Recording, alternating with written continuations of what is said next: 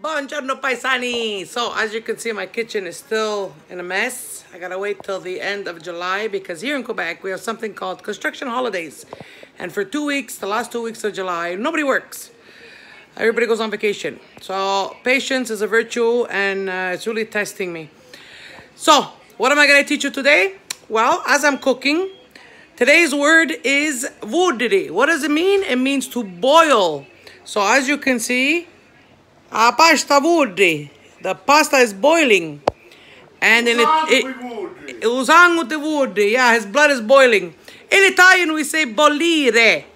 In Sicilian, it's vudri. And when the pasta, here we go, I'm going to turn the camera.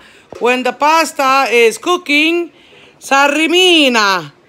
That means to stir. You stir. In Italian, we say agitare. Dobbiamo agitare la pasta. Arrimina la pasta, se non biccica.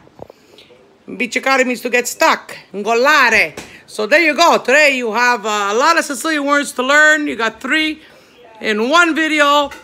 Have yourselves a beautiful day. Buon appetito e ci vediamo presto. Salutiamo.